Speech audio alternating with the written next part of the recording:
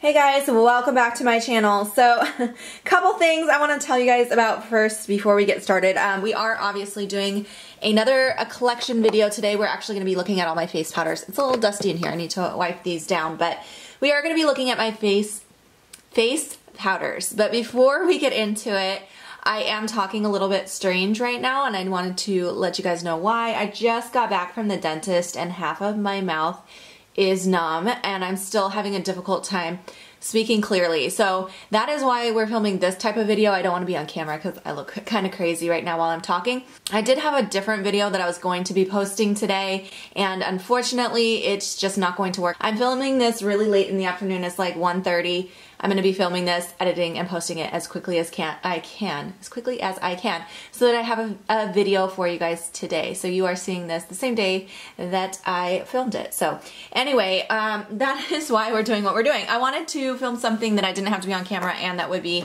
quick and easy to film and um, edit for you guys. So we're looking at my face powder collection. As you guys know, I've been doing these collection videos. I only have a few categories left to do and this is one of the smaller ones so I think it should go pretty quick. So I have both loose uh, setting powders, the pressed powders, foundation powders, all of that um, and we're going to be going through each one of those today but first these ones here are the ones that were in my everyday makeup drawer so I'll quickly talk about these. Let's start with this one. This is from By Terry. This is a foundation powder. Um, it is a duo powder, so on the outside you have a matte powder and then in the center here, this one has a really beautiful kind of glow to it. I usually just kind of um, like swirl my brush between both of them and it gives a really beautiful skin-like finish um, and I really do like that. Sometimes I'll just take that center powder underneath my eye because it does add a really nice like luminosity to the skin. Um, but I love this powder. I think it's a really, really nice powder.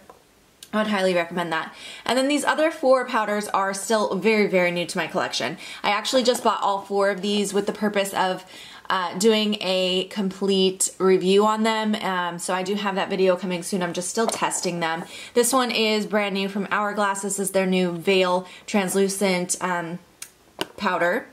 And then I also have this Becca one. This one I've had the longest. I've been testing it the longest of the four. Um, but this is the uh, Hydra Mist powder. It is kind of cool. It does definitely feel like almost wet when you first apply it to the skin, which oh, it's very reflective too, which is kind of different and neat. But um, yeah, I have that one. And then I also just got this guy, which is the Marc Jacobs um, Finish Line powder. It's another uh, translucent setting powder.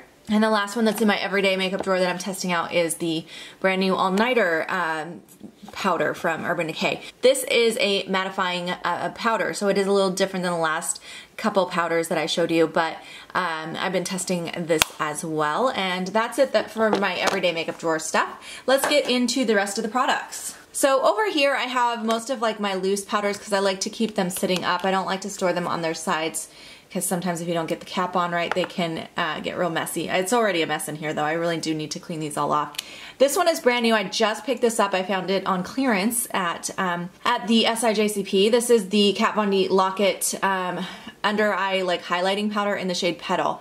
I had the medium shade for a while because my kids had bought it for me and the kids buy my makeup challenge, but I, I did like the powder. that the other shade just wasn't right for me, so I was excited to find this shade, which is my shade, on clearance. I do also have this one here, which is just her translucent Lock-It setting powder, which a lot of people love this, and I'm not, not as big of a fan of it. I don't like, I feel like there's like glitter in there that's very obvious to me, and I don't like that, but I do have that powder. I also have um, the Laura Mercier powder. I have both the travel size and the full size. Honestly, I don't know why I have both. I don't technically need both. I just for some reason have both.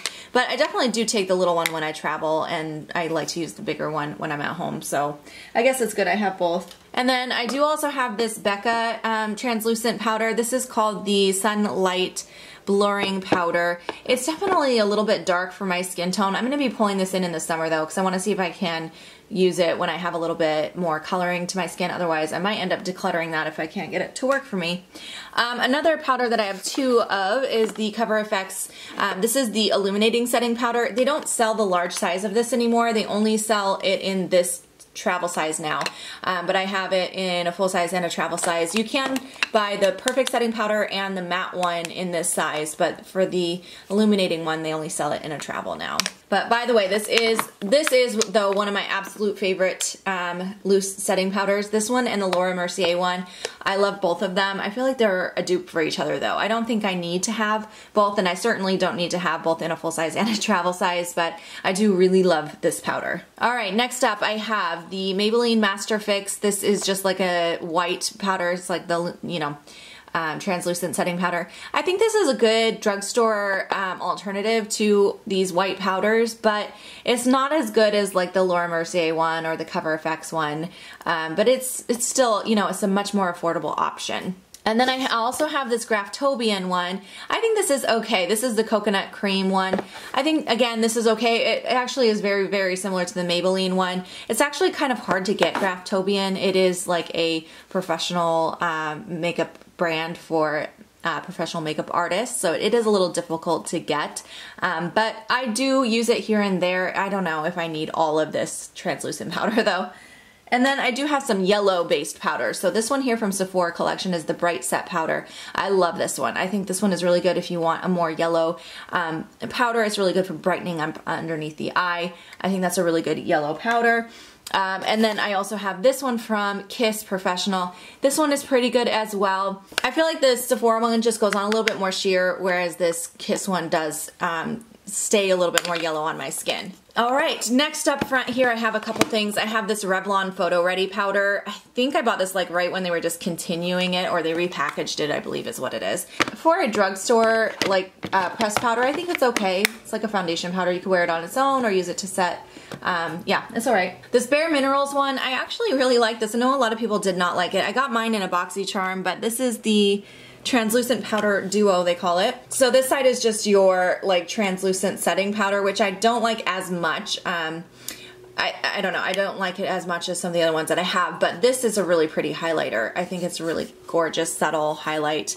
Yeah, so I do like that and I do use that from time to time. All right, moving over here. So I have this one here from CoverGirl. I actually just got this in PR recently and I did use it a few times. I feel like this made my makeup look super patchy. Every time I used this to set my foundation, I did not like the way it worked. Um, I am gonna try it again, but next time I wanna try it on its own as like my foundation. I don't do that often. I'm not a powder foundation person, but every once in a while, if I'm just running errands or something, I might do that. So I might try that with this one.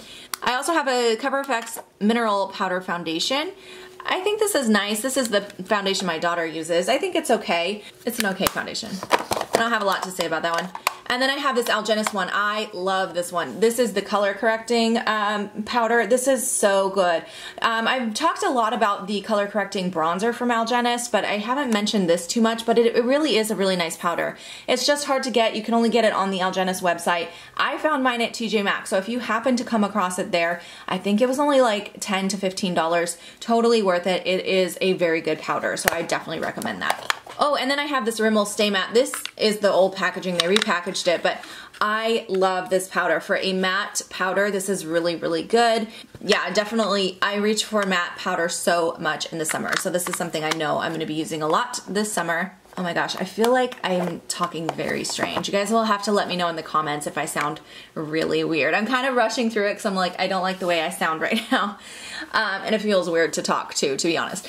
Okay, next I have the Tarte um, BB Confidence Powder. I have it in the shade Fair Light Neutral. I picked this up during one of those um, Ulta 21 day sales. I like this powder actually. I don't ever hear anyone talk about this, but it's really nice. It's like one of those more creamy feeling powders. It almost feels like a cream to powder finish, but it applies very nicely. It does not look powdery on the skin at all. It does a great job of setting um, foundation. I don't really wear it on its own because I, again, I'm just not a powder foundation person.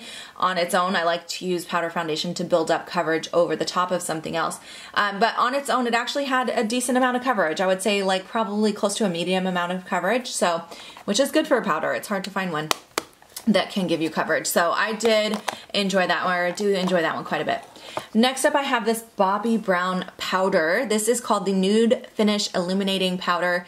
It is um, just like it reminds me of the hourglass powders. It gives you a really nice amount of glow. You kind of swirl your brush to get all the shades in there and it does just, I think a couple of them have shimmer to them, but most of them are matte. But when you swirl it together, it gives you the right amount of shimmer.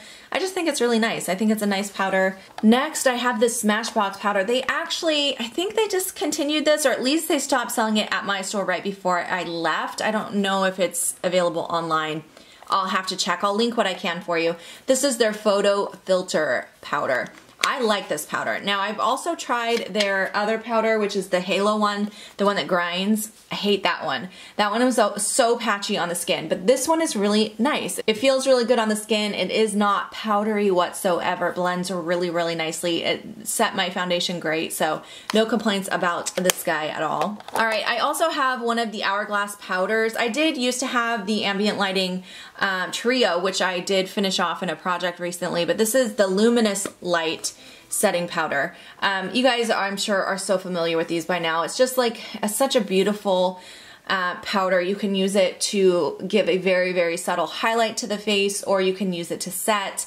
Um, I like to use it as a finishing powder most of the time. So I'll put on like my blush, bronzer, contour, highlight, everything. And then if I feel like I things are not looking so blended, then I like to go over it with this powder and just kind of, it gives you this like really flawless finish and it's just beautiful. So that's what I like to use this for. And then I have this Becca powder. Um, this is discontinued. This is their Perfect Skin Mineral Powder. I found this on HauteLook not that long ago. I think I've seen it on there a few times, so if you catch it, you might want to pick it up. I think it's a good powder. It actually reminds me a lot of this Smashbox one. Um, I think those are very similar, and I like both of them. Hopefully one of them is still available, but yeah, this is a nice powder.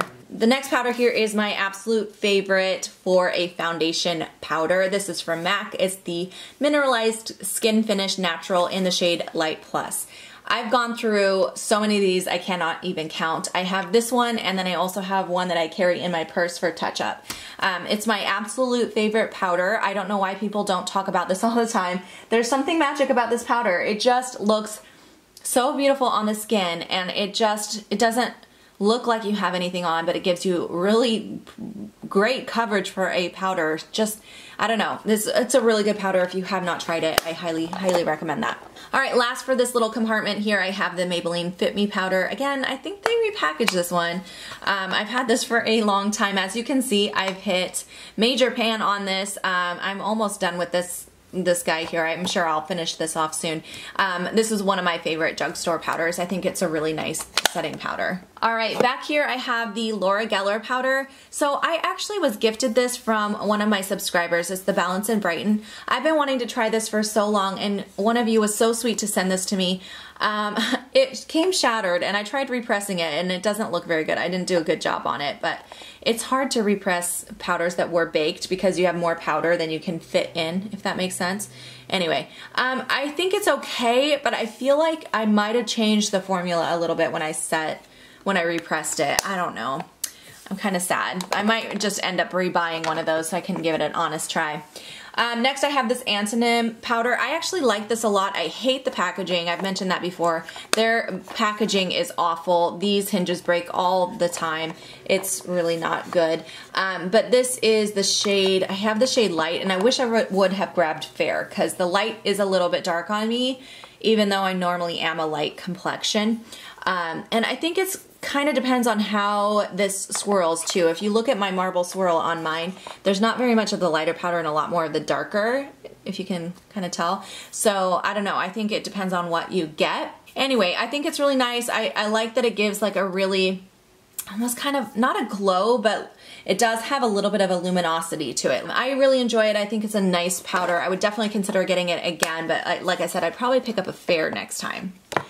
All right, I feel like I've been talking so fast, you guys. The last one I have in here is from Marc Jacobs, and this is the Perfection Powder in Ivory Bisque. Did he, I think he might have discontinued this and came out with something different. This is something I found at TJ Maxx. Most of the time if you find um, Marc Jacobs at TJ Maxx, it's because he you know, discontinued the item. So I think this was discontinued, but um, I think this is an okay powder. This is not one that I would repurchase once I ran out of it. Um, I, it's good enough to continue to use, but it's nothing special. I do have other favorites over this one. I think it's just okay. All right, you guys, so that is my face powder collection. I hope you guys enjoyed watching this video. Um, sorry if I was talking too fast, but like I said, it's my mouth is bugging me a lot. So anyway, um, if you have any questions, any comments, leave them down below. I'd love to hear what is your guys' favorite powder. Is there one I'm missing that you guys think I should try? Let me know. If you're looking forward to that powder review on those new powders I just picked up, give this video a thumbs up and I will see you guys in my next video. Bye guys.